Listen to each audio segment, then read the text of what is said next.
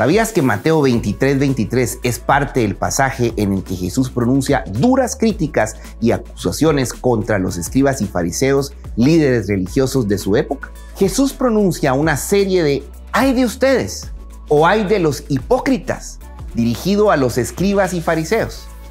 Jesús está denunciando sus prácticas hipócritas y su falta de integridad espiritual mientras ocupan posiciones de liderazgo religioso.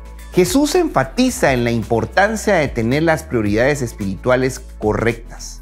No está condenando el diezmo en sí, sino señalando que la justicia y la misericordia son aún más importantes en la vida de un creyente. El énfasis en el corazón y la actitud correcta hacia los demás.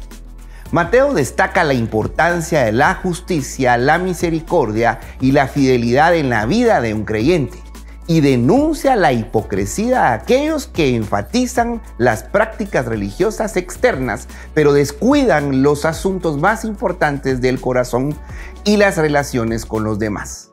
Jesús insta a sus seguidores a practicar la fe con integridad y amor hacia Dios y a sus semejantes.